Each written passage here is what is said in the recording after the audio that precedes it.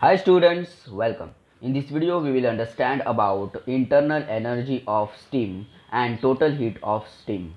So here internal energy of steam is denoted by small letter u and total heat of steam is denoted by small letter h you, as you can see here and now see here the heat energy which is stored in steam above the freezing point temperature of water is called as internal energy of steam okay now see here internal energy can be calculated by the addition of sensible heat and internal latent heat.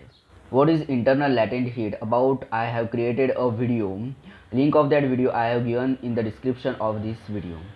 Now see here total heat of steam that is h is equal to sensible heat plus internal latent heat plus external work done. Okay? So now see here total heat that is h okay? And this u that is internal energy of steam which is the addition of sensible heat and internal latent heat. So this term that is sensible heat plus internal latent heat is our internal energy of steam that is u. So here this is u plus external work done that is pv pressure into specific volume okay so now further after simplifying this we will get here u that is internal energy of steam is equal to total heat minus work done. Okay?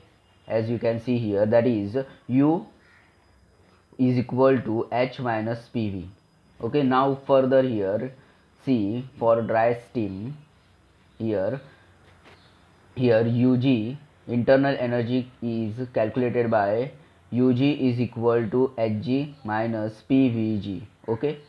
From this term.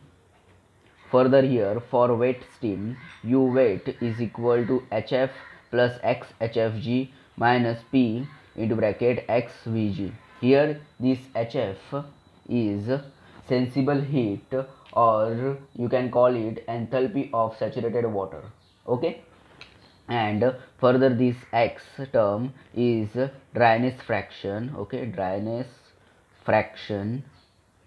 And this hfg this term hfg is over here enthalpy or latent heat of vaporization okay? Further here this term we can simplify it as this. That is u wet that is internal energy of wet steam is equal to x ufg okay? This ufg is internal energy of vaporization. Okay? Now further here see for superheated steam this internal energy can be calculated by this formula that is internal energy of superheated steam is equal to hg plus cps into bracket t sub minus t sat in minus pvg into t sub upon t sat here this cps is our specific heat of superheated steam and its value varies from 2 to 2.3 kilojoule per kg kelvin. Okay? And this 2 sub is uh, temperature of superheated steam and tsat is temperature of saturated steam. Okay? And unit for total heat and internal energy of steam is kilojoule per kg.